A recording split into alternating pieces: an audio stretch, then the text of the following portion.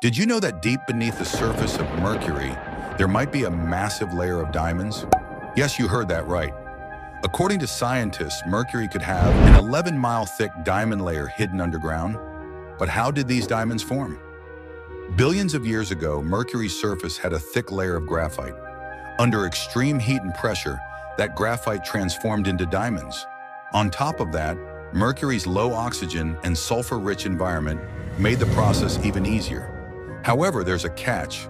These diamonds are buried so deep, around 500 kilometers below the surface, that mining them is almost impossible. But here's the twist. Volcanic eruptions on Mercury might bring some diamonds to the surface, just like it happens on Earth. And it doesn't stop here.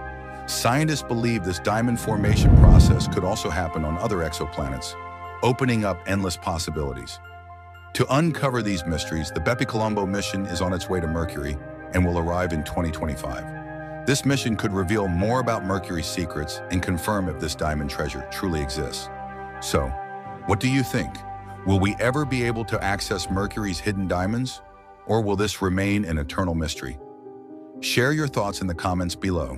If you found this video interesting, give it a like and subscribe to the channel for more amazing cosmic stories.